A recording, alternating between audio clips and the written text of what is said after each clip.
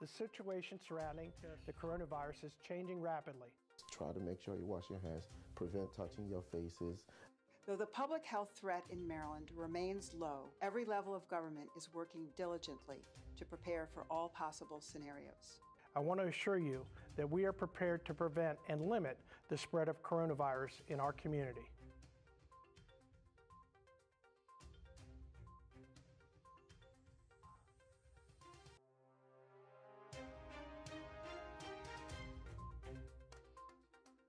Situation surrounding the Welcome to the City of Laurel's second virtual town hall on the coronavirus or COVID 19. I'm Communications Director Audrey Barnes. This has been the deadliest 72 hours in the state of Maryland for the COVID 19 I want to the coronavirus to date. Nearly 400 people have died, and the numbers are growing. We want to applaud each and every one of you for what you're doing to slow the spread of COVID 19. And we're doing our part also. That's why there is no audience here tonight, just a few people scattered around the room to be with us tonight. Our panelists are also spread out so that we can maintain the proper social distance from each other. And just like we did during our first virtual town hall last month, we are inviting you to participate. We want to make this a two way wanna assure you conversation. that we are So there are a number of ways that you can get involved with us tonight. You can call in your questions, and that phone number is 240 294 1308. You can also email us a question at laureloem at laurel.md.us. OEM, by the way, stands for Office of Emergency Management. And you can also put a question under the Facebook Live feed on the City of Laurel Government Facebook page. We also have another post at the top of the page if you want to just leave a comment there. We'll try to search around and find them either way. So now let me introduce our panelists tonight. Uh, joining us is Laurel Mayor Craig A. Moe. Thank you, Mayor. Dr. Joseph Wright is here from the University of Maryland Capital Region Health. Thank you, Dr. Wright. Uh, Stephen Allen is our emergency manager. Thank you, Steve, for being here. Dr. Uzo Unebu is the City of Laurel's health officer.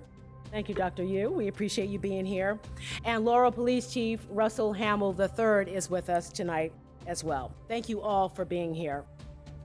So much has happened since our first virtual town hall on March 12th. Let's take a look at the numbers. There are 10,784 cases of the coronavirus in Maryland and 392 deaths in our state. There is a little bit of good news, though. 736 Marylanders have recovered from COVID 19 and been released from isolation. Let's get the very latest tonight from Mayor Moe. Mayor? Uh, Thank you, Audrey. Uh, I do want to acknowledge uh, a couple of our council members that are in the audience with us as well as our council member Valerie Nicholas is with us, as well as council member uh, Mike Les. So thank you all for being here. Uh, Good evening to everyone. Uh, Thank you very much for tuning in to tonight for our second virtual town hall meeting regarding COVID-19 uh, pandemic. I do want to acknowledge the hardworking city employees for all of their efforts in preparing for and addressing the needs of the community during this very rapidly changing environment. To all of our police, fire rescue, EMS, and other first responders, to our nurses and doctors and their support teams, thank you all very much for your dedication and your sacrifice you have made. We send each of you a virtual hug and we say thank you during these very difficult times. Each of you have made a difference in the lives of many in the Laurel community, and again, your service um, has been acknowledged here tonight, and we thank you. To the residents of the Laurel community, I want to thank you and acknowledge your patience and understanding. Many of you have volunteered to assist to- and to work with us, and I appreciate that greatly. The situation surrounding the COVID 19 is changing rapidly, and your city is continuing to adjust. We have implemented a 90% staff reduction of city employees at the municipal center. We have enhanced our telework program to permit staff to work from home. Currently, we have 60 staff members working from their homes. A 50% reduction at the Department of Public Works while they're still providing the essential services. Our police department has maintained adequate staffing levels. To meet the needs of the community and maintain officer safety. City playgrounds and facilities continue to be closed, and homeowners associations were directed to have playgrounds closed as well. All city basketball courts and areas around the courts continue to be closed, and the homeowners associations were directed to close their basketball courts as well. As I've mentioned to you at our last virtual town hall meeting, we continue to prepare for the worst and always hope for the best. Our emergency manager, Steve Allen, continues to monitor and to work with our public safety and our public health officials at the county, state, and federal levels of government. Steve continues to coordinate with city, our city health officers who's here with us tonight and follows the guidance uh, from the CDC, the state and county public health departments. On a personal note, I want to thank Steve publicly. His dedication to his work and his coordination with city departments, organizations, and other EOCs uh, around the county uh, during these very difficult times. So, Steve, again, thank you very much. City departments continue to follow their uh, contingency plans and their coronavirus workforce action plan that provides guidance and procedures for keeping our employees safe and the community safe as well. I can't thank our communications department enough. They also do an outstanding job pushing out the same critical messages and information from the CDC, the Maryland State Health Department, and the Prince George's County Health Department regarding the pandemic. And they're doing a lot of others, which I'll talk about a little bit later in my remarks. Tonight, we take additional steps to continue our efforts to keep the public updated and prepared during this pandemic. This is why I'm glad you have joined us tonight for our second town hall meeting regarding the pandemic, an important discussion between our community partners and your government. As this is our second virtual interactive town hall meeting, I encourage everyone to take part by calling, emailing us, or sending a message on Facebook Live. Tonight, you will again hear from the experts in the field of public health and uh, emergency management. I want to thank our panelists tonight again for their time and their assistance and being part of the solution to help uh, us along here in the city of Laurel. Please remember that I don't want anyone to panic. We understand the unknown is scary and creates anxiety. We at city government are ready to assist you in your time of need. We have an action plan and we stand ready to assist. I want to thank Governor Hogan and County Executive Alsobrooks for their leadership and transparency in ensuring that the state, county, and local communities are safe. Your city officials will be following and enforcing the governor's, the county executives, and my executive orders, directives, and policies so that we can help sl- slow the spread of this deadly virus. These orders will be enforced by the Laurel Police Department and the staff at the Office of the Fire Marshal and Permit Services, and those in violation will be held accountable. Tonight, I want to pass along some information to you that I believe is useful and very important. And the first is again to remind you to take the time to fill out your census form. We have 47.7 uh, percent of self response to the census. You can see that it is critical um, and it's very important. So please take that time. President Sydnor has announced that the mayor and city council meetings will hold their uh, meeting on Monday, April the 27th at 6 p.m. The city budget will be introduced for FY21 that night. The second public hearing uh, will be on uh, Monday, May the 4th at 6 p.m. We will be using GoToMeeting for the public so that they can take part and participate. So look for further information as we get closer to the 27th. All of the work sessions will be on the same dates and they will start at 5:30. On Saturday, April the 8th, starting at 7 a.m., the governor's executive order will go into effect for everyone, requiring the use of face coverings and and um, making sure that um, your nose and your mouth are covered. Um, the entire um, executive order will be placed on the city's website so you can check it out. But if you're out and about, we just encourage you to go ahead and put that on. Um, it, it will be required by all. We have established several telephone hotlines that can assist our residents if they have questions or need assistance. Our Emergency Operations Center is 240 294 1314. Senior, our Senior Information Hotline is 240 517 7974. Our Business Information Hotline is 301 356 3876. And we also have our Spanish hotline uh, for information set up as well at 240 805 3167. All of those numbers are on our website as well. We also have started a healthcare gratitude challenge on so, our social media platforms. Let us know if you have a special healthcare worker that you'd like for us to acknowledge and thank. Send us their photo and their name to social media at laurel.md.us. I announced that uh, we will be canceling the city's 150th celebration events through June to include the annual Main Street Festival scheduled for May the 9th. We will work hard to reschedule this event before the year's out if it is safe to do so. Please check out our virtual family fun page located on the website. Includes virtual events and activities for the entire family. We've established a chat with the senior citizens.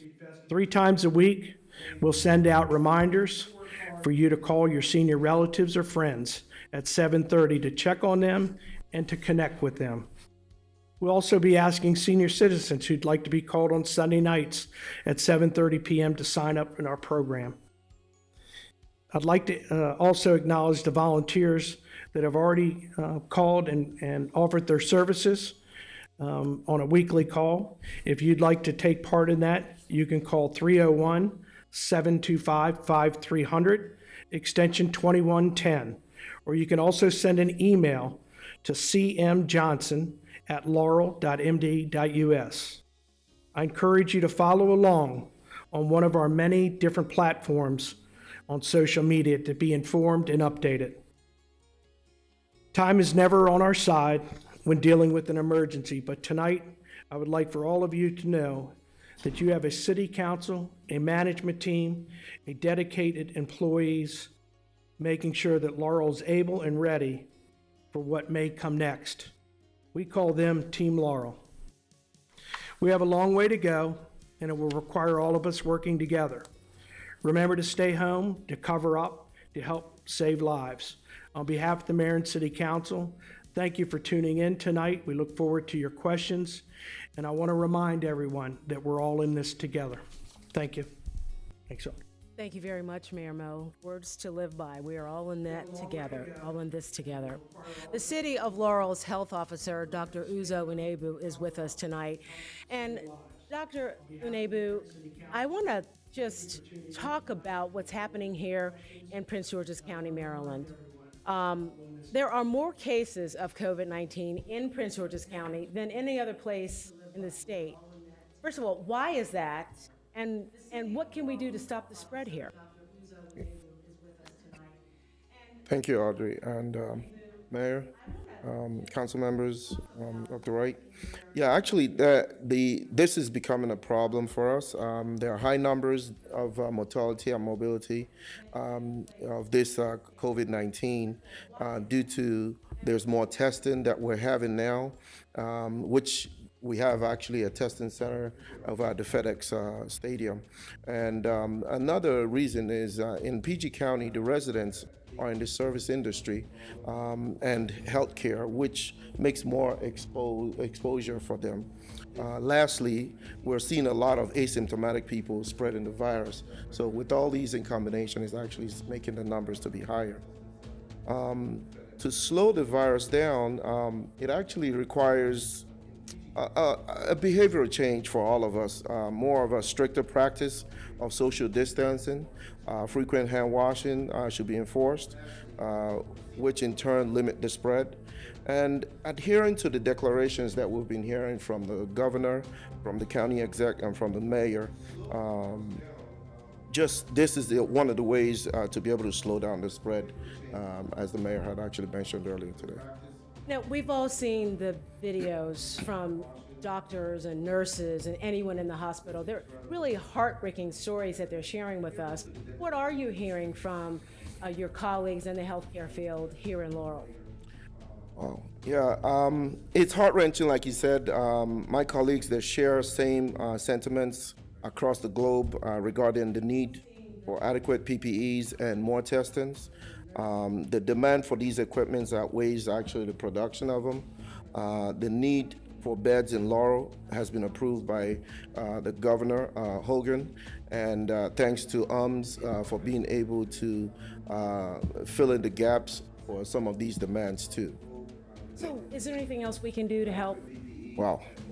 Um, well, the best way, I, I, think we've been saying that all along, is stay home. Uh, right now, we're mentioning cover up, um, but there are other things that I, I would recommend. Um, first is um, that the transmission is controlled. And then second is that the health system uh, capacity, capacity is in place to detect, test, isolate, and treat every case and trace every contact. And third is um, that the, break, the outbreak risk are minimized in special settings like health facilities and in the nursing homes, like I go to nursing homes too. Um, and then fourth is that the preventive measures are in place in the workplace, in schools, and other places where it's essential for people to go, like in the shopping malls. Uh, and then fifth is that the communities are fully educated, engaged, empowered, and to adjust to the new norm. Thank you very much for sharing all that great information um, and for helping us weather this, this coronavirus storm over the last few weeks. We appreciate all the help that you've been giving the city. Thank you. Um, the City of Laurel's emergency manager, Steve Allen, stood up our emergency operation here at the Laurel Municipal Center 42 days ago, and he's been working tirelessly ever since then to help keep us safe, all of our citizens, our employees, and visitors here to Laurel. And Steve is with us tonight to share the very latest um, as we prepare for the surge, which is still a couple of weeks away in Maryland, isn't it, Steve? Yeah, as soon as I fix my hearing aid, I'll be okay. yes, that's correct, Audrey, and thank you very much, and Mr. Mayor and council members and everyone in the room and everyone in the Laurel area. This is a long-term incident.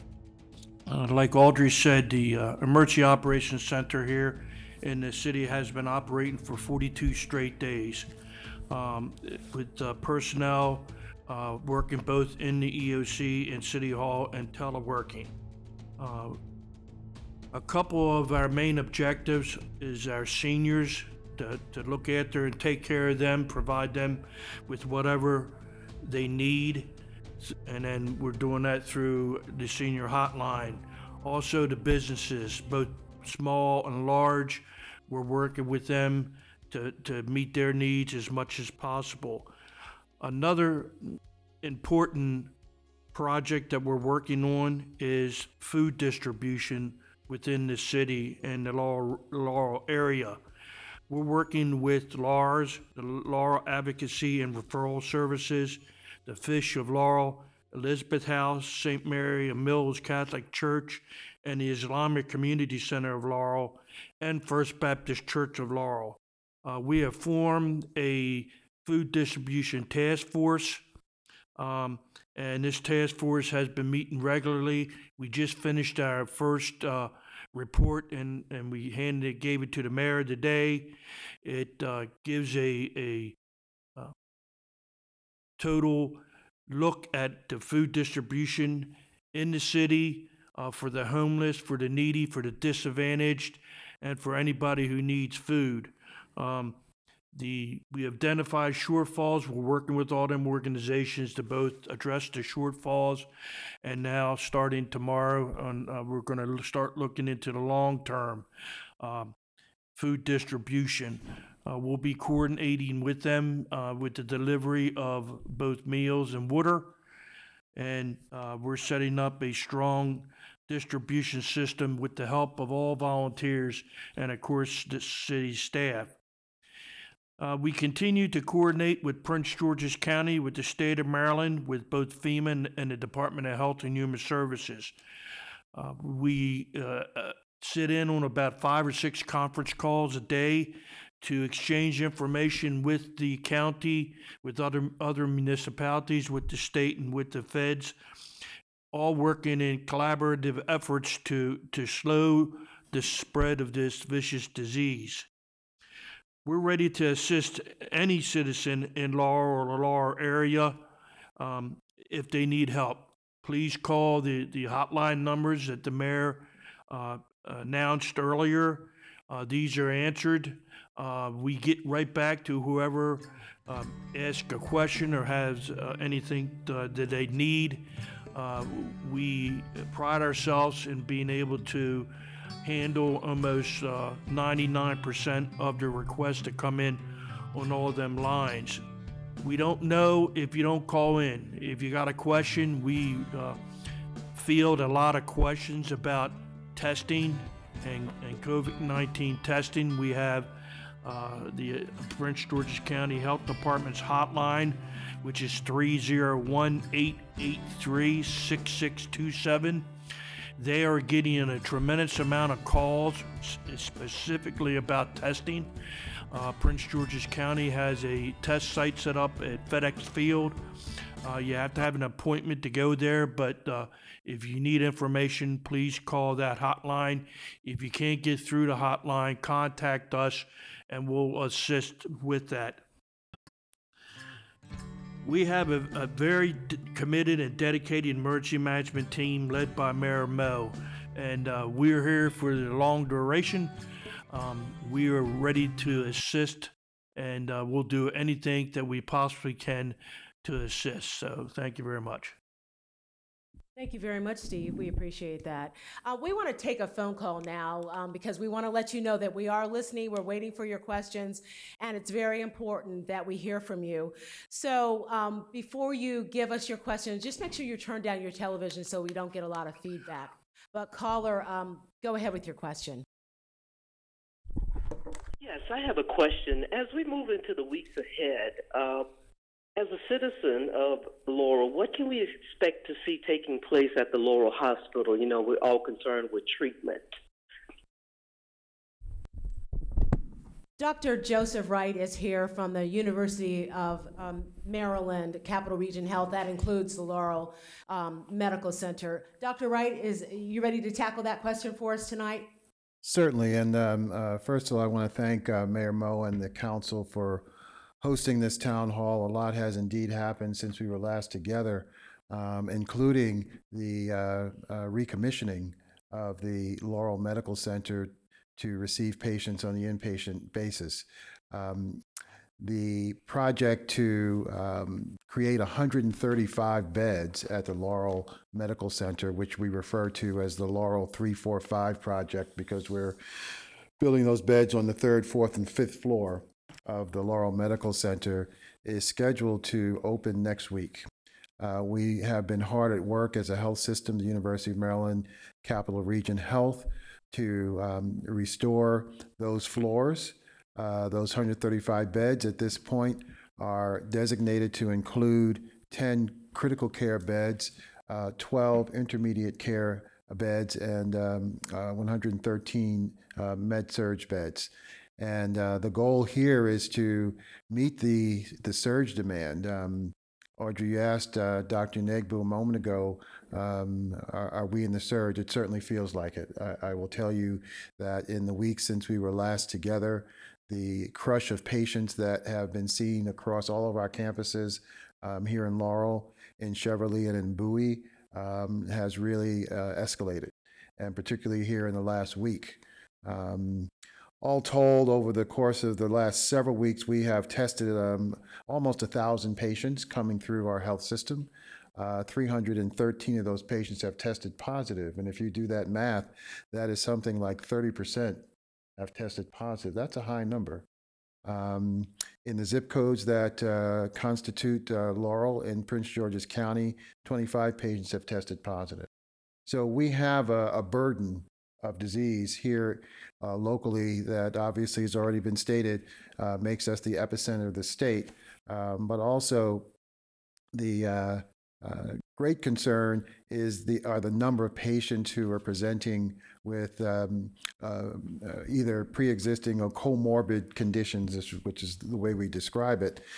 And what I mean by that is um, we have a large population who have underlying conditions, heart disease, diabetes, and uh, those conditions uh, with the added burden of the uh, coronavirus makes it even a more difficult challenge and makes the need, particularly for critical care beds, uh, of great demand. So um, we believe uh, that the to answer the caller's question that the um, these beds, these 135 beds, um, uh, couldn't open soon enough.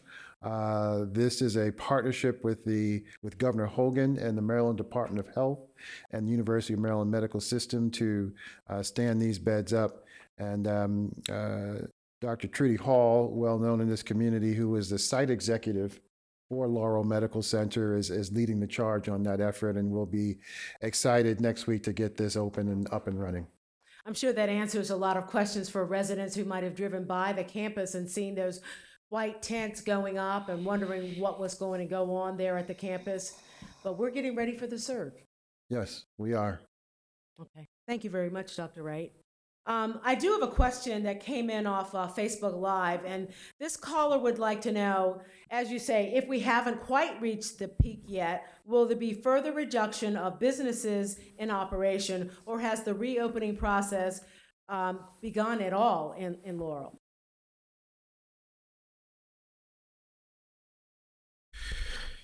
Uh, The reopening of business and government, actually, we were talking about that um, earlier today. There is no plans as of yet. We will continue to watch and work with, um, as I stated earlier, with um, uh, our emergency manager, Steve Allen, who's communicating with all different levels of government.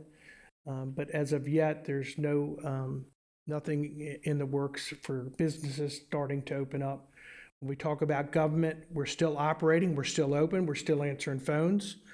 Uh, people are working from home, and um, there's uh, just a very uh, small, uh, probably two or three of us here that are at um, City Hall. Um, but all departments are open, and we're still uh, we'll be answering questions. But as of this date, there's nothing unless Steve has anything further on that. And Mayor Moe, that seems to be on the minds of many people tonight. We just got an email on our Laurel OEM at laurel.md.us email address, and the person was asking, what is the timeline for us getting back to normal? I think you've explained that, that we're, we're a long way from that. I would like to see it sooner rather than later, but I don't think that's going to be, uh, that's not the answer. So um, we'll continue to monitor the situations and we'll work with uh, all levels of government uh, before we do anything. We'll do what's right and we'll do what's uh, in the best interests of our community. Thank you, Mayor Mel. As the spread of the coronavirus continues across the country, police officers, first responders continue to be on the front lines, and that is very true here in Laurel as well. And joining us tonight to tell us about how we're protecting our officers is Laurel's Police Chief, uh, Russell Hamill III. Thank you, Chief, for being here tonight. Thank you, Audrey. Appreciate it. So I'm very close to the doctor. I'll keep my mask on. We're gonna, Plus, we're gonna spread you guys out a little bit. I'm Doctor, much more handsome with this way. mask on, I'm told. So, um, first off, uh, I do want to say, uh, even though we're here for a very solemn discussion, today is a uh, celebration in my family. Today is the birthday of my middle son, who's watching this right now. So I want to say happy birthday, Dylan, and I love you. And um, it's uh, part of what we do is for kids like you, bud. So we're uh, working hard. The Laurel Police Department's working hard. Um, we're still out there. We still have some instances of crime occurring, and we're taking care of that. We, we're, sta- we're still out there um, protecting and serving the community. Don't hesitate to contact us. Don't hesitate to call us. Um, we are seeing an uptick in calls regarding violation of the executive orders by the mayor and by the governor. We respond to those as well. Um, the, uh, we've taken an approach with this that we will inform and educate before we enforce. So um, we want to provide the information, we want to provide the education to people of what the guidelines are.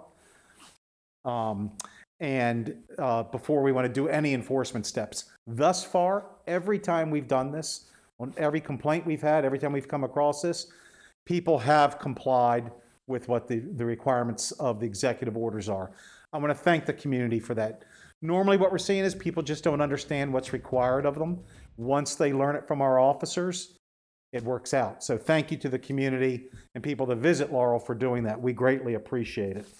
The, um, I do want to thank, um, my, my officers, uh, and my civilian staff.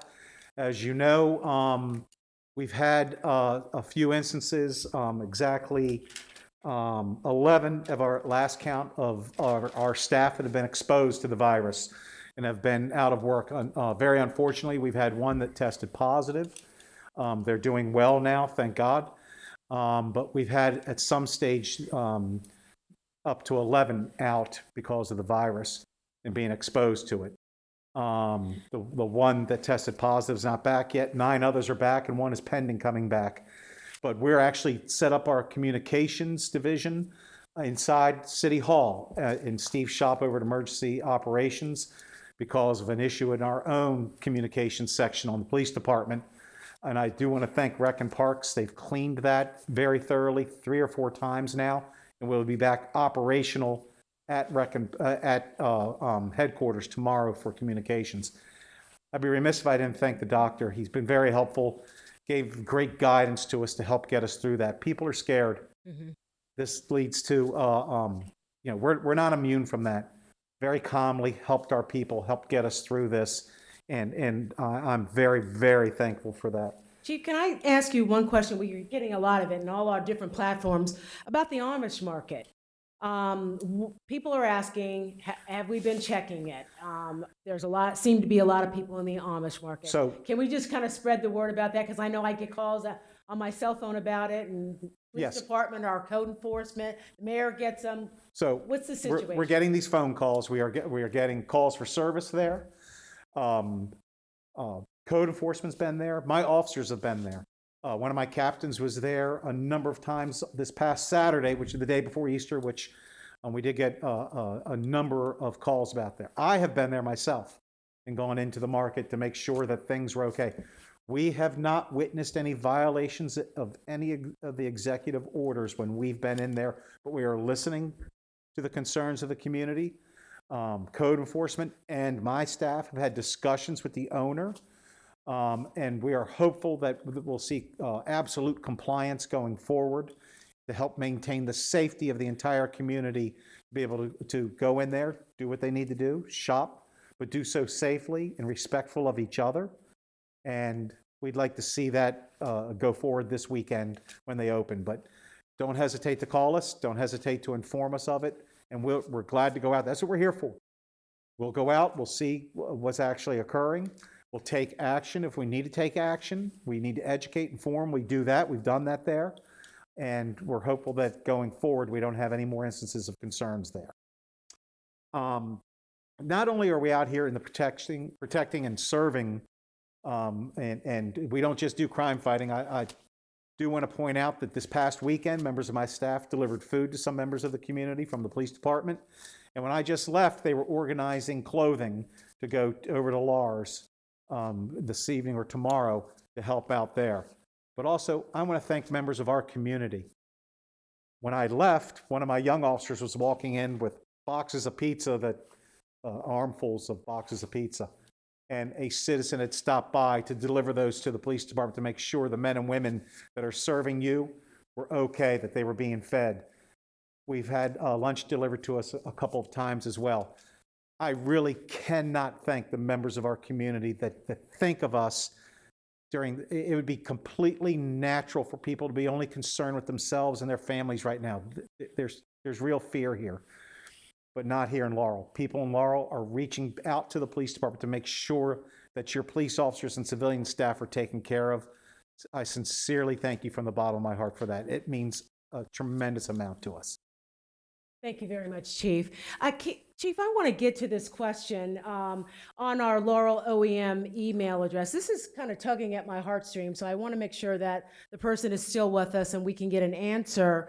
Um, one of the doctors probably is, is best prepared to answer this one.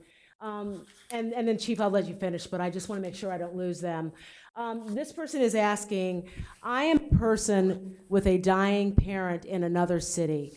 Can you clarify the stay-at-home, stay-at-home order? Does that mean I can't fly? Doctors, any, any guidance that we can give this viewer tonight about um, that situation?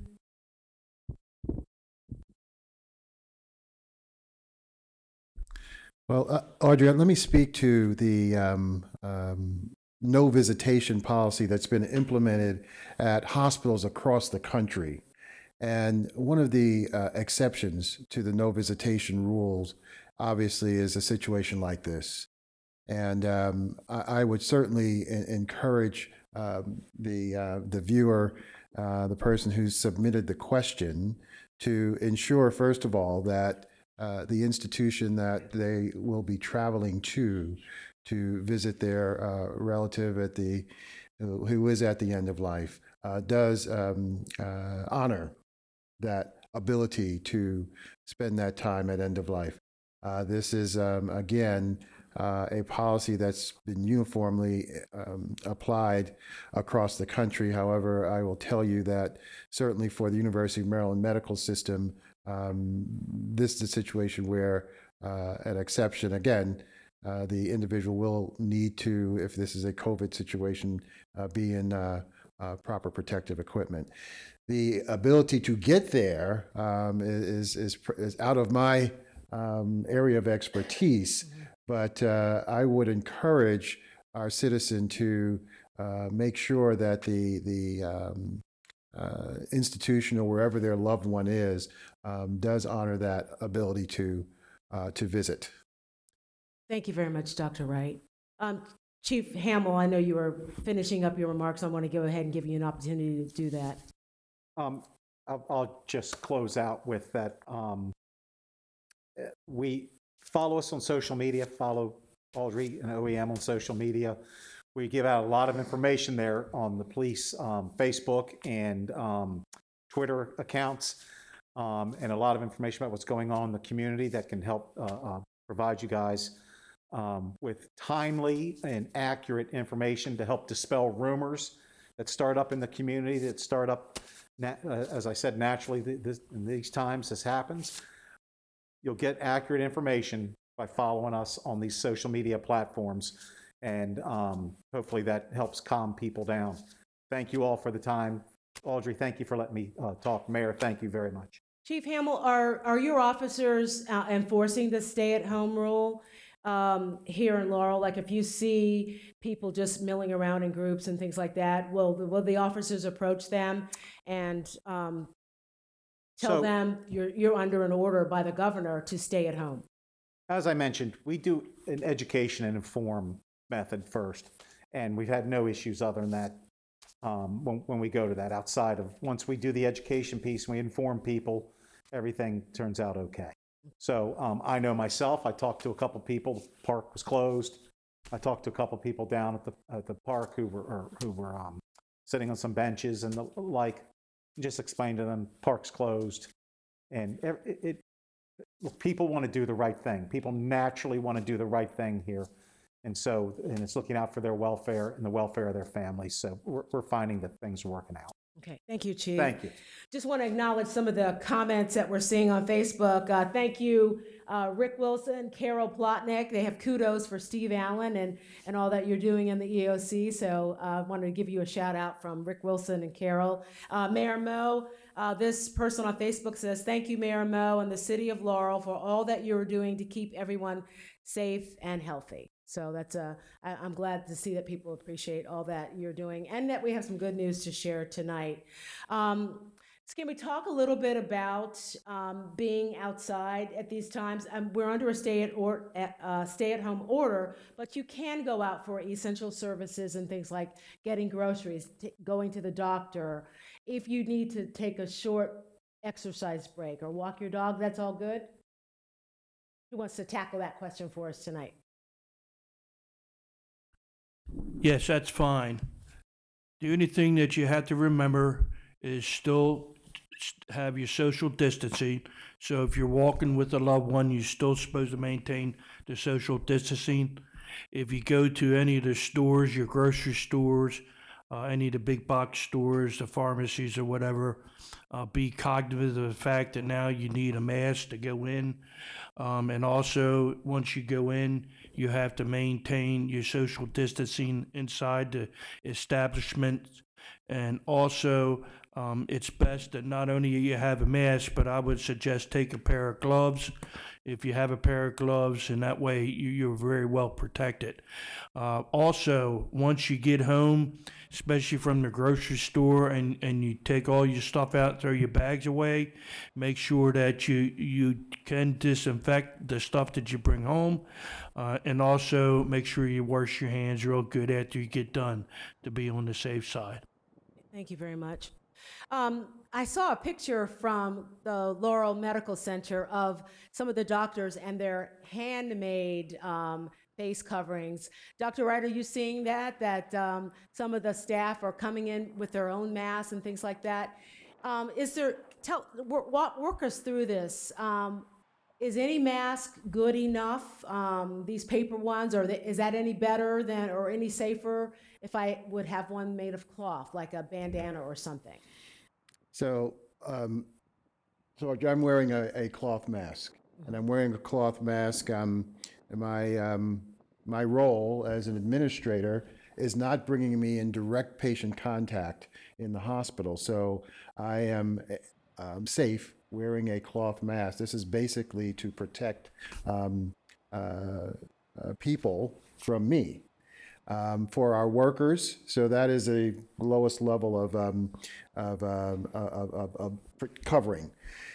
Second level would be individuals who are in patient contact and they wear a surgical medical grade mask, um, similar to some of the masks that, um, uh, for instance, the mask that Mayor Moe is wearing tonight. And then for our workers who are involved in invasive procedures, uh, for someone who has to go on a ventilator, for instance, uh, there is a the highest level of personal protective equipment that is worn. So um, I, I, do want to, first of all, I would be remiss with regard to acknowledge not to acknowledging the public, because this is a mask that was made by a citizen uh, for our, our, our medical center and they are continuing to produce masks for our, um, our non-clinical and administrative personnel. The other way we're using these, um, these masks as well is to protect the medical grade mask. As you know, uh, there is a, um, a, a, um, a, pipeline shortage with regard to the production of uh, uh, personal protective equipment. And by wearing a um, cloth mask over the top of an, an N95. That's the um, medical grade mask that most of our nurses on our COVID units wear. You extend the life of that medical grade mask. So there are many uses for the cloth mask, um, not the least of which it has brought a great deal of um, of camaraderie. Our first, our our workforce is is very very um, uh, gratified by the support that the community is showing uh, by production of these masks. Uh, I would also like to uh, um, uh, make mention of how important this kind of activity is because we talk about social distancing. It's really physical distancing that we require to uh, combat this coronavirus, I would contend that we need to be socially connected during this time of physical distancing. And so activities like this, where we're able to virtually come together and communicate, are so very important, especially for our frontline workers. Because the last thing you want to have individuals are are putting their own safety at risk is to um, be socially isolated when they come off the job. So one of the things that we're encouraging, uh, particularly for our frontline workers uh, in the healthcare industry, is to maintain, support one another, uh, maintain um, social connectedness. Uh, we have the technology to do so, and um, uh, again, just want to acknowledge the great support from the public. It's not just the mask, it's meals, it's encouragement. We had a public safety um, siren parade come through the campus the other day with all of our local um, um, uh, police departments, including uh, Laurel, participating in that, and we appreciate that. Mm-hmm. Thank you very much. And you brought up something that's very um, important to remember that there are people who are feeling isolated. It's, it's gone beyond social distancing, it's, it's social isolation. And that's why the mayor's uh, chat with the senior citizen program is so important. So far, Mayor, we already have close to 40 people who have volunteered to call our seniors and, and check in on them. Um, seem, it's, we're really going to put it into force on Sunday night at 7:30 because there's a lot of people who need those phone calls. Good, that's great, thank you.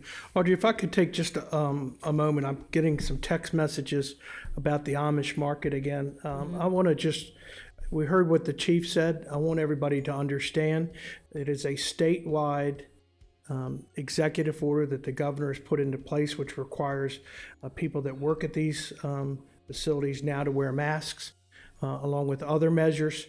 They have been, the Amish market has been educated. Now they will be held accountable. So I think we've uh, educated them. Uh, I'm hopeful that uh, that takes care of the issue there. If not, I encourage people to take pictures um, and, um, you know, if there is a violation, and let us see that because a, a picture says a lot um, when we go and visit these stores. We're not in the business of putting people out of business. We're trying to help business, we're trying to help the community. And it's going to require all of us, as I said in my remarks, all of us working together. I did want to say just one other thing. We are trying to, when we go out and buy lunches or we do things uh, or dinners, depending on when you're here, um, we've been trying to support our local business, and I encourage others to do that as well. I've probably put on 20 pounds more now that I've been out eating it. So you're the one that's uh, the Takeout Tuesday person? Is that you? That's not my idea, but I, I take out Tuesday, right? Takeout Tuesday. Um, but I did want to talk about the masks because if you are looking, the city um, was able to find uh, two businesses here in the community. There may be others. Uh, Zips is um, selling um, masks uh, for a reasonable price, I think, reasonable price. Uh, these are uh, not the paper. These are the, as you heard from the, the way the doc has his material. And also Marilyn Johnson down on Lafayette Avenue, um, her business also. We purchased roughly uh, a couple hundred masks from these two two individual businesses. Um, not only to help them, but also to make sure we had the supplies we needed for our employees as well. That's Thank good. you. While we're on the subject of masks, um, I think we need to reiterate that the governor's executive order requiring masks in all retail or- organizations goes into effect 7 a.m. on Saturday. And so that's when uh, customers will have to have those masks on, and also the employees, 7 o'clock on Saturday. Everybody needs a mask. Even as they're delivering now Yes. food and other things, it Yeah. also takes care of that. So it's, we're ramping it up a notch. Um, I, Dr. Youth, since you still have your mask on, can you quickly just demonstrate to everyone there is a proper way to take the mask on and off, so so that you're not just null, nullifying all the good that you've done by wearing it. So so sh- walk us through it. How do you do it properly? Yeah, basically, if you have your mask on and after you finish using it, uh, it's really easy for us to just easily grab it. But when you do that, you're actually exposing, you're, you're contaminating, you know, getting in contact with, if possibly, any virus. So we always recommend just going by the ears and pull it this way and then just toss it in the trash can. But don't try to scramble it or anything like that. So that's our best recommendation at this time. Uh, pull from the ears and then pull it out and then put it in the trash. Now, when I go to the grocery store, I mean, I'm wearing masks and gloves. Correct. So when I get back to my car, Yeah, when you get back to your car, the recommendation because of the gloves that you just used in the shopping, uh, in the, by doing all your shopping, you want to be able to take that out, and if there's a nearby trash can or something like that, you could go and put it in there.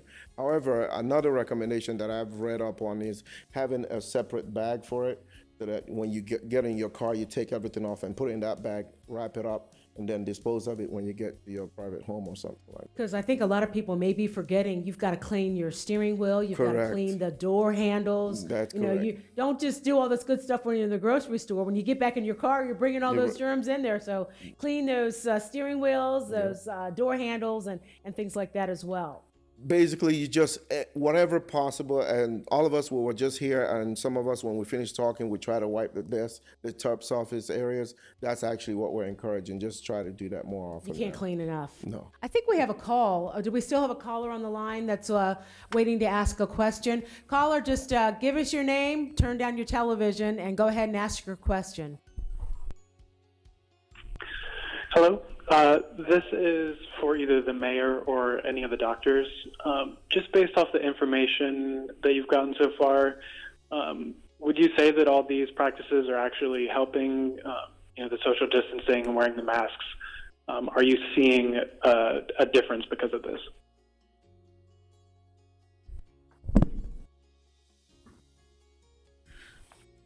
Thank you, uh, caller. That that question is excellent. Yeah, using just let's use New York as, as an example. You know where the the surge it was really revved up last last week, and they're still on it now. But I, I think nationally we're beginning to see that as we're practicing these measures that I recommended, we're beginning to see a little bit of a decline. Um, it's not that great. I mean, some some uh, some of us may look at it and say, oh, "Okay, look like we're getting there," but the more we social distancing, the more we're washing our hands, being more cognizant of our environment, I think that's helping uh, the surge to be able to level off. So we encourage you to continue to do that.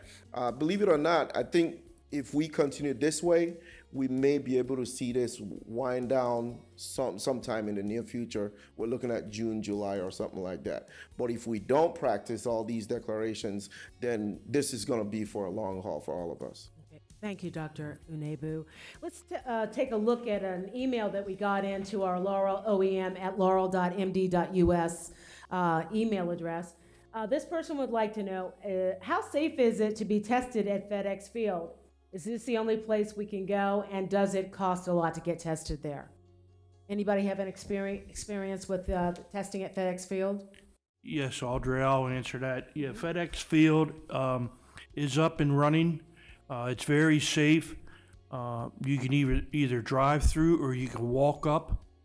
Um, you have to have an appointment, so you have to call the uh, Corona's hotline, uh, health department, and, and and get an appointment. But they are up and running. Um, the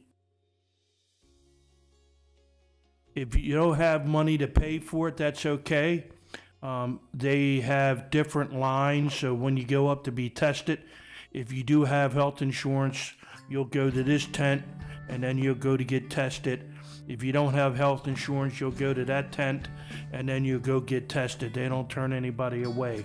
So th- that's not the only site. Uh, that's the main testing site in Prince George's County, but there's one in Montgomery County. Uh, there's several sites around that you can you can go. You're not restricted to going just the, the one site. But um, the FedEx site is is a large site, and they're testing quite a few people. But it is safe down there.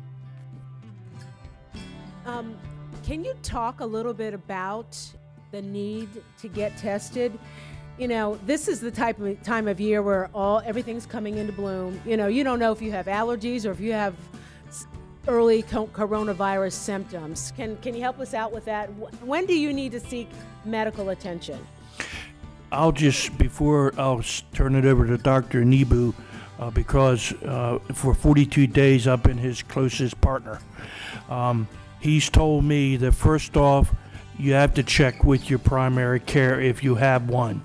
Uh, they know your history, and there again, it could be flu something, but uh, they know what symptom, symptoms to look for. If you exhibit them symptoms, then they can authorize a test and you can get a test. If you don't have a primary care physician, you can call the hotline and they will hook you up with one and they will also screen to see if you have the symptoms and if you do and then they'll give you an appointment that way. Thank you. Is that correct, doctor? I'm going to be a doctor at the end of this too. Right. So is a is a fever um, one of the biggest telltale signs that you have um, possibly been exposed to coronavirus? Because I'm hearing a lot of people talk about dry coughs and and sore throats and things like that, but they don't have fevers. Um, is the fever the trigger that's really saying you need it? You, if you have a combination of things that you've got that fever, you could be in trouble. Yeah, actually, that's one of the signs and symptoms that we're looking at, but that's one of the major ones. Uh, as you can see, even in establishments, before you get into those establishments, they have to check your temperature and everything because that's one of the telltale signs. But we, there are various different signs and symptoms that may occur. Um, even I have a colleague of mine, orthopedic surgeon. All he had was just generalized body aches and pains. Eventually, he was tested positive, and then later on, he started having the respiratory problems. So again, uh, fever is one, and then respiratory problems is the other. Did you see the police chief slide a little bit further? I noticed that. as soon as you said that, he was he was gone, halfway down the. Uh, you know, Sandy Spring Road by now.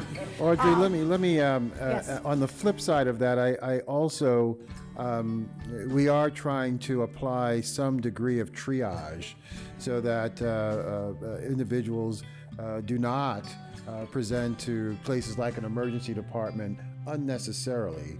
Um, however, let me just say, if there is any concern about um, shortness of breath or respiratory symptoms uh, that might suggest pneumonia, uh, that is when we do need to see you in the emergency department. So, shortness of breath, um, uh, which is really one of the um, screening questions that are asked uh, when we do this kind of screening that Dr. Negbu um, talked about, is a reason to come into the emergency department.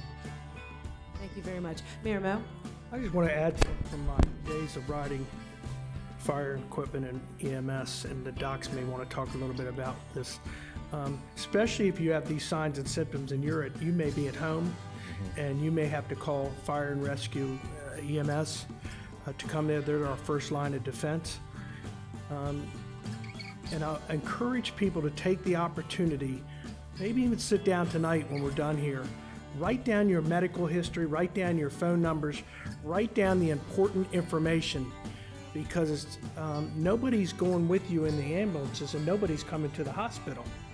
So that information is crucial for your health, and I would encourage you to do that. And I don't know if the docs want to talk a little bit more about that, but that is very important. No, absolutely. Um, uh, it's uh, uh, critically important for, particularly because, as I mentioned, um, we have a um, a, uh, a, fair number of citizens who do have underlying conditions. And, and for uh, the knowledge about those conditions, and, and, and uh, particularly if you're coming in in, in, in extremis, uh, we need to know what's going on, and, and, and having that information available uh, is really a key component to the treatment plan. So, uh, Mayor Moe, I, I, thank you for, for pointing that out. That's a, a and not just during a pandemic, anytime. Uh, really important for us to have that uh, that information about uh, what's going on with your with your uh, baseline health. Okay. We have a caller um, that would like to ask a question of our panelists. Uh, give us your name and go ahead with your question, please. A lot of things are going virtual and a lot of doctors are saying I had some I had some symptoms and they called and they said we can do telemedicine. Is that really beneficial? And also, can you speak to how do we stay mentally healthy when fighting a pandemic and it's hit everybody's family pretty hard? Anybody want to take that one? You, you, you, we keep, we're learning all these new phrases Yeah. like telemedicine Tele- now. Absolutely. Tele- well- tele- telemedicine is the big You know, there are uh, unintended consequences of, uh, of, uh, of, of, of stress and strain, and um, one of the um, things that we are uh, absolutely leveraging in the healthcare industry now is technology. And um, we are doing uh, a lot of our care within the hospital uh, with the use of, of, of, telemedicine so that we limit the amount of exposure. So um, we can uh, access consultants that we may need uh, to help us with the care of COVID 19 patients uh, remotely.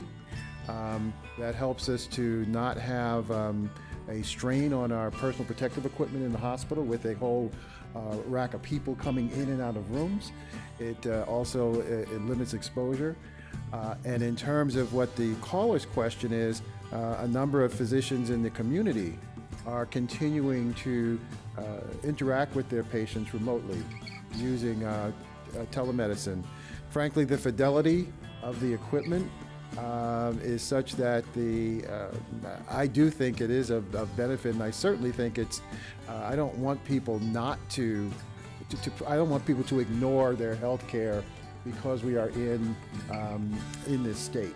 So many uh, local physicians are leveraging the technology to stay in touch with their patients. So I do think there's benefit there, and then we'll actually see uh, how it sticks on the other side of all this. Thank you, Doctor. Uh, we have an email question. Uh, this is for you, Mayor Moe. Um, this citizen would like to know how can we, as citizens, support our small businesses during these challenging economic times? Um, I've, uh, as I stated earlier, I think um, they can support local business, um, small business. Um, a lot of the restaurants are doing curbside and carry out. We encourage you to, to do that as well, but it's not always just about food. Uh, when you need to go get your essential um, items that you'll need, you go to the different uh, stores. I encourage you to shop here locally in Laurel. Uh, keep the money in, in Laurel and our local businesses. And I encourage those that may be employers looking for those that have been um, laid off or put aside um, until this is over, um, that um, they advertise here locally as well. Um, you know, we've got a ways to go on this, and um, you know, nobody has a crystal ball to know when we're going to be able to open these places back up. But the more that we can shop locally here in the city, that is supporting local um, businesses, and that's important during these very um, uh, during these times in crisis. I just want to let the everybody watching and listening know that you can call us with your questions. And here's the phone number. It's 240 294 1308. 1308. I wonder if anybody has heard much from the little ones in the community. How are the kids holding up? Um, in any news and what are you hearing from the, the children in our community? Schools have been out for months now. Everybody's getting stir crazy. I have some senior, high school seniors that live on my street. They're devastated at the closure of school, no prom, no graduation, things like that. Um, should we be paying especially close attention to our children during this pandemic?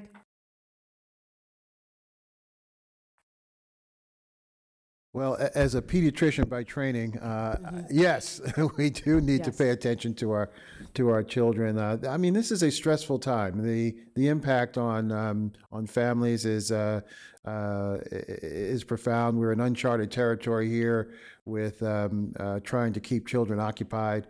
I, I think that. Um, uh, we've seen some creative ways to engage. Some some some um, school districts are are uh, attempting to continue instruction um, during this period of time, and I, I do think we do need, need to pay special attention to to uh, to our kids. And uh, when we, when I talked a moment ago about social connectedness, kids need to be included in that as well. One thing we've done in our family is um, to to conduct a a uh, a, a weekly. Um, I, I, I don't want to give any proprietary preference. There's a lot of platforms out Yes. there through which you can can do family um, chats and family meetings, and, and I would certainly encourage parents to include uh, include their kids in that. Um, but um, yeah, we absolutely have to pay attention to the kids. And I, I, my kids are adults now, but I, I feel like I talk to them more now than I ever have in their life. Um, texting, I mean, daily and calling. Um, I think, is that part of the stress of just you want that connectedness? You want to know that you're okay. And obviously, they want to know that their parents are okay.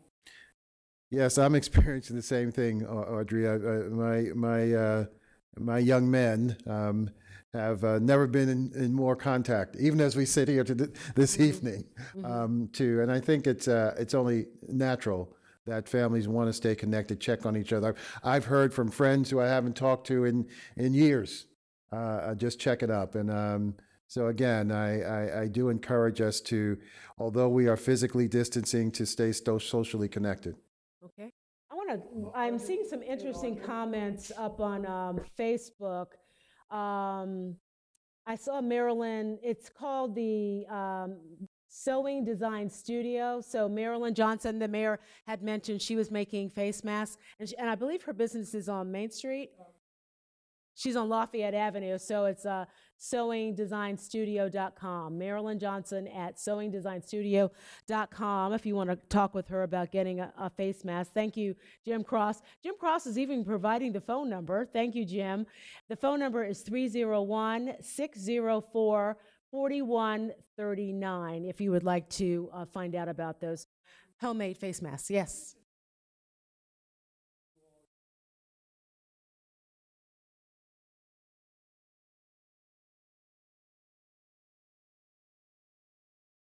Oh, yes. Um, and I have to give um, a special note and word of gratitude to our social media specialist, Karine Koback. Um, she is doing a fantastic job. I mean, for the last six weeks or so, she's been posting pretty much seven days a week. I mean, really, seven days a week, um, all kinds of information. And um, what I love seeing are the virtual classroom posts that she's been putting up, and even things that you're seeing in the community, like NASA. Um, NASA has some space programs for kids to tune in, and um, so we're trying to share all those kinds of information. And and pretty soon we're going to do a a Facebook Live or some kind of chat with educators about how they're engaging their children um, and how to keep the kids engaged while they're being basically homeschooled by very tired parents who have never done this before. So um, thank you, Karine, for looking out and finding all those great stories. I know the parents out there really appreciate that.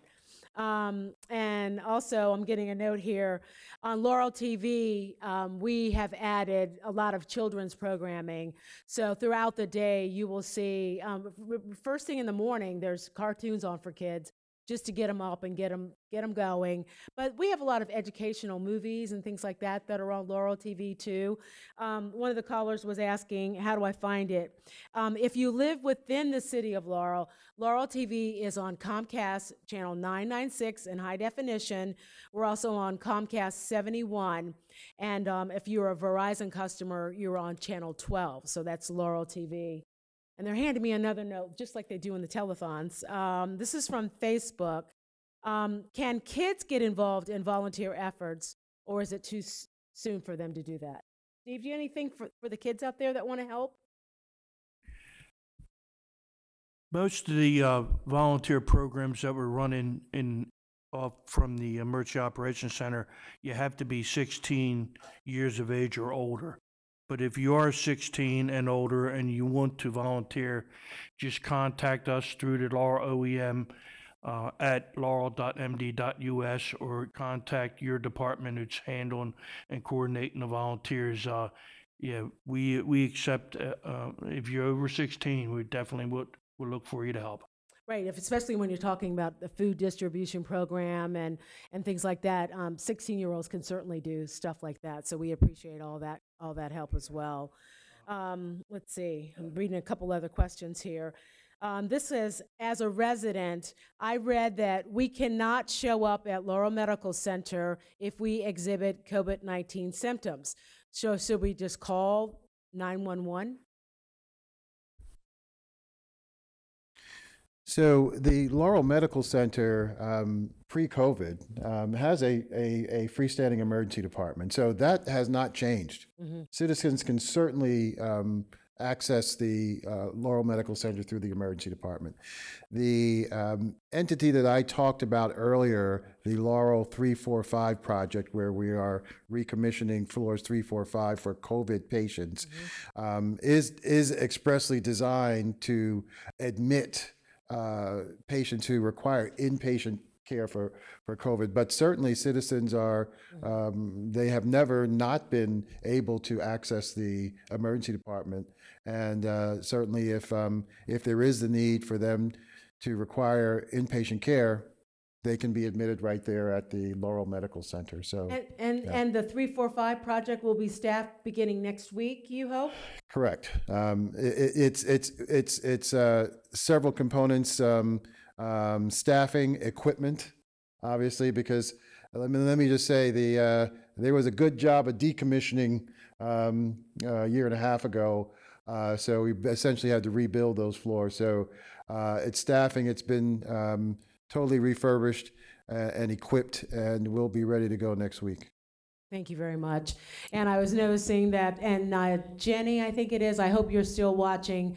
Um, Dr. Wright just answered your question about staffing LRH next week. So um, that is the hope, he says, equipment and, and things like that are coming in daily. Also, I'm seeing some questions about um, kids helping each other via social media and using those ties to stay connected with their friends. Um, this is the one time I think you probably will let your kids spend a little bit more time on social media when they're isolated. Um, let's see, we have another question. Parks and Recreation is posting virtual activities for all ages on their Facebook page too. So um, I bet Joanne Barr is probably watching and called that in to remind everybody. So uh, thank you, uh, Director Barr, for letting us know that Parks and Rec has a lot of uh, virtual things that you can tune in and find out about as well for, for all ages. Um, so check out the Parks and Recreation um, Facebook page as well. Um, let's see, I'm getting one more question. Okay. A quick programming note. Some of you heard music during the programming. We have uh, called our technicians, and that should be clear now. So uh, that's a, for those of you watching on Laurel TV, there was some music playing. We're, we've worked on it and tried to get that fixed for you. Um, let me just do a roundup of all the panelists uh, as we wind things down and see. Do you have any final thoughts, things going on? Um, Chief, let's start with, okay, I guess you're pointing to Dr. Yu. Dr. Yu, you want to have some final thoughts for us?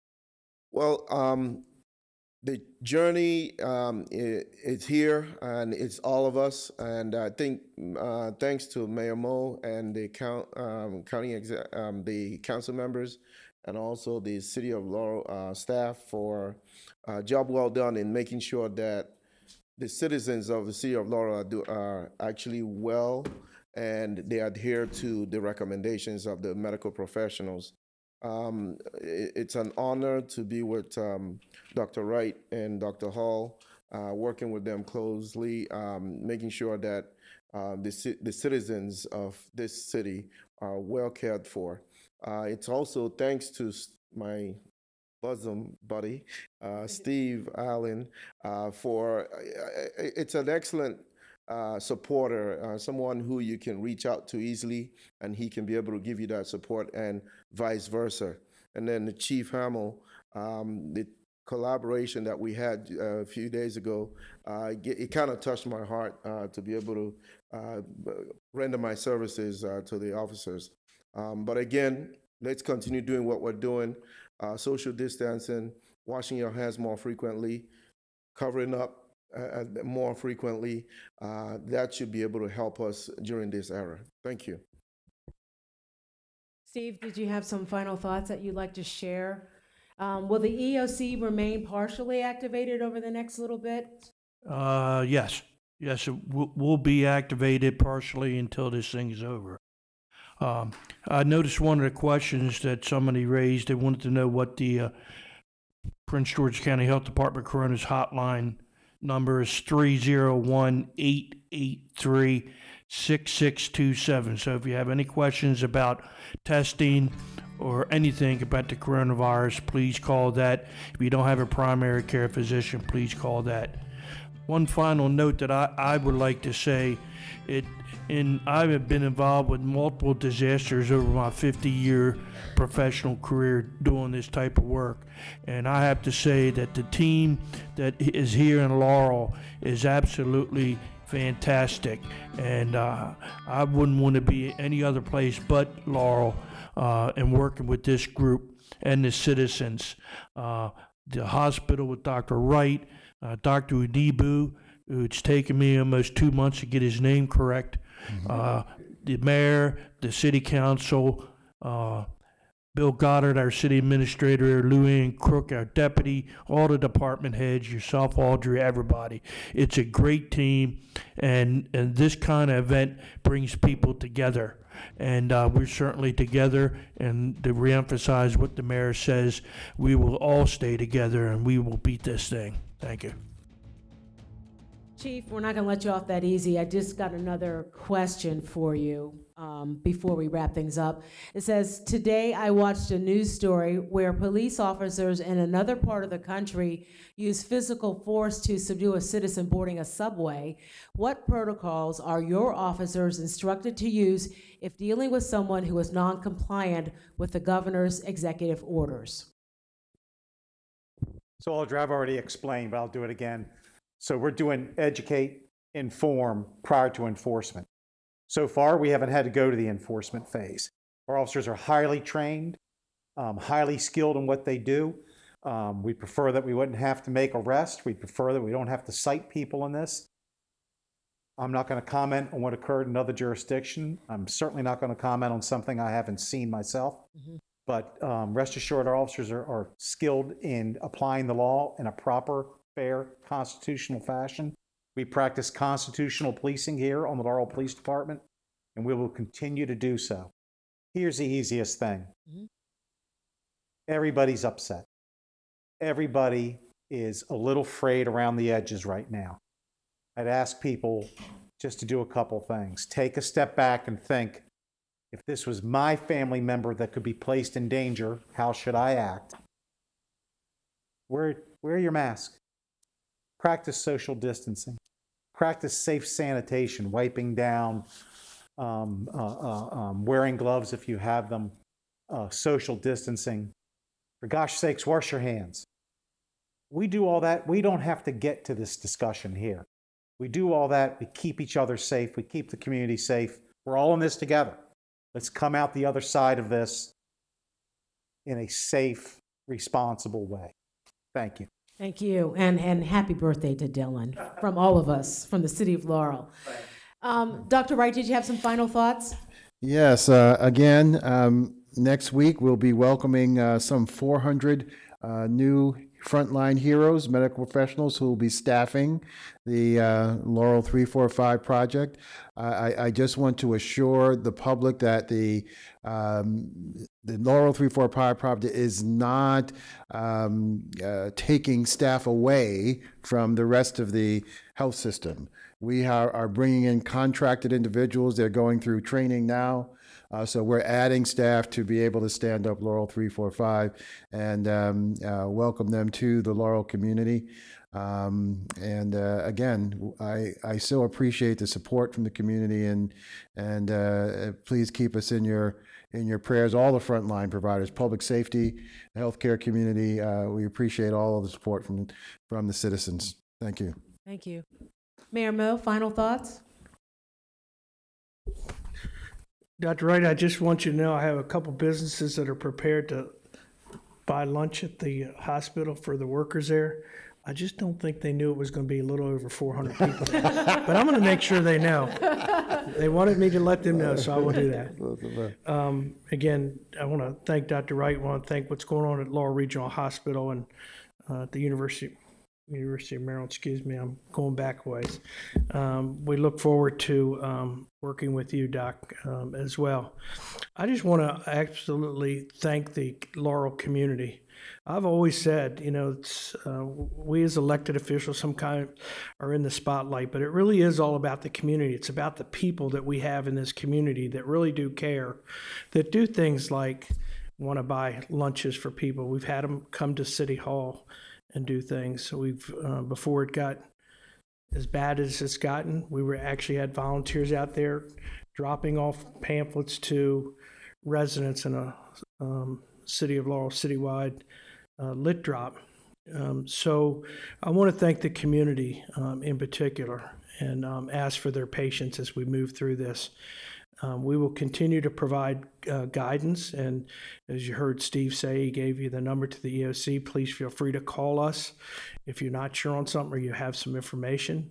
From the police department and our code enforcement, we're going to continue to educate, and we're going to make sure people um, are held accountable and understand what these executive orders and these directives are are doing, and why we're doing them. The sooner we can get hold of this and flatten that curve, curve, as they say, um, the the better it's going to be for all of us to hopefully get back to. I don't think we'll ever be normal. There'll be for a long time. I think we'll be seeing some changes. Um, but I do want to thank the community. I want to thank uh, Bill Goddard, our city administrator, uh, Lou Ann Crook, our deputy city administrator. They continue to run the day-to-day operations here. It's gotten a little bit uh, different where people are all at home working. Um, and uh, everybody, all of the department heads, our senior management staff, all of our employees that continue to get up and, and go to work, make sure that the services are provided, make sure that things are getting done, questions are being answered. Um, and to the city council who continuously worked with uh, the administration um, on this um, pandemic. And we're not done yet, and they understand it, and they've committed themselves. It is going to be tight um, budget times coming up. I've been through this before, and when we had issues. Local government, municipal government usually starts seeing the effect of of things like this, the economy uh, going south, usually 12 to 18 months.